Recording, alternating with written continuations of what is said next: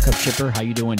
Uh, my name is Luis Lopez, and I am the founder of uh, Truck Hub. And today we're going to do a new request shipment online through Truck Hub.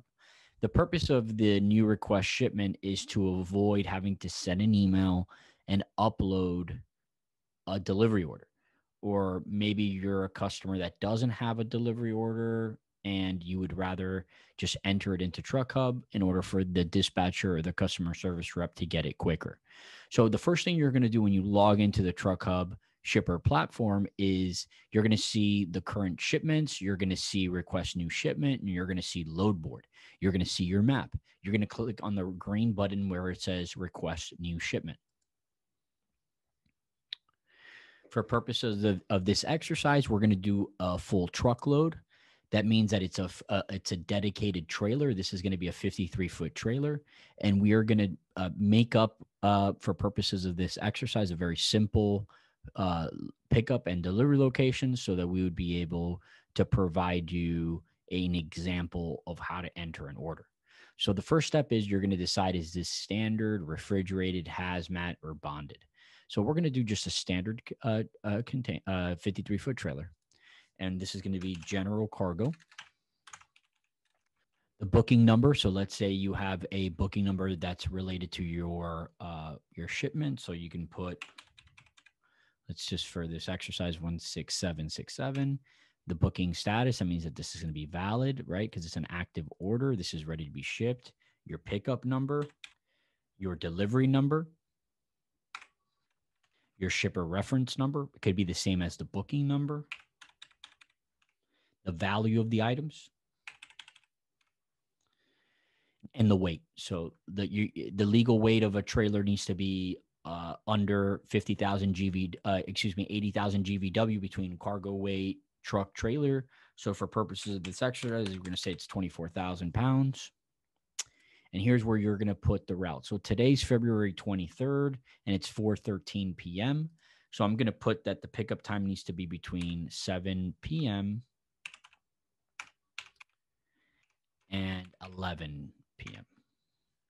And this is, we're on the East Coast time. You can put here any, any notes. So I'm putting here C Mark, the warehouse manager. I'm putting here it's a test shipment. Next thing you're going to do is you're going to put the address. It's important for for you to be able to get the address, latitude, and longitude so if you put the if you skip the first line and put the address first, it will automatically populate the latitude and longitude. It'll pull an API from Google so that you're able to get the latitude and longitude. So we're going to put here 3300 Northwest 110th Street, Miami, Florida 33167 as the pickup location. Then you're going to click the the the the plus sign again. And now you're going to put the drop off location.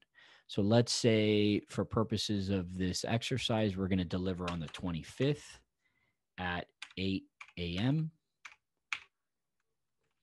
to 10 a.m. And this is going to be Eastern time as well. Here, you're going to put any notes. So you see like uh, uh, see warehouse manager Tim.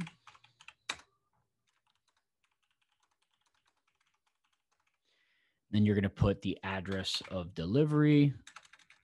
Let's find an address to put here.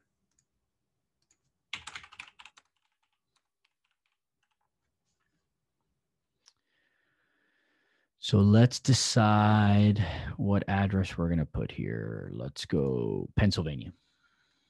Okay.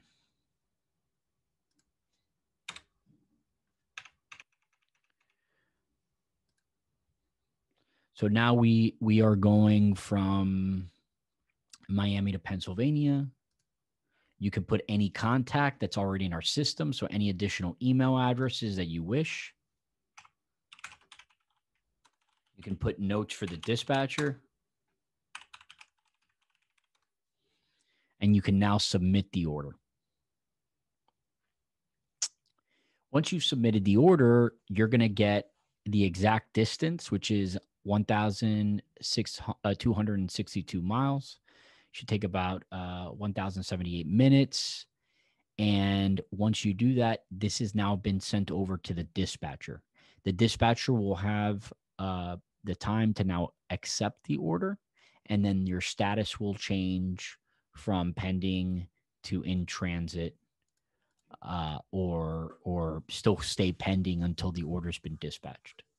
So this is a really innovative way to avoid having to send emails, and it's very simple. You also have your information here who created the order, additional people involved in the order, and this could be this will be added. The dispatcher who accepts the order will be added here, and eventually the driver details will be added here as well. So this is Truck Hub Shipper. This is request new shipment form. And this is a really innovative and easy way to create a shipment and avoid having to send emails and the back and forth. Thanks, Truck Hub Shipper. Let me know if you have any questions.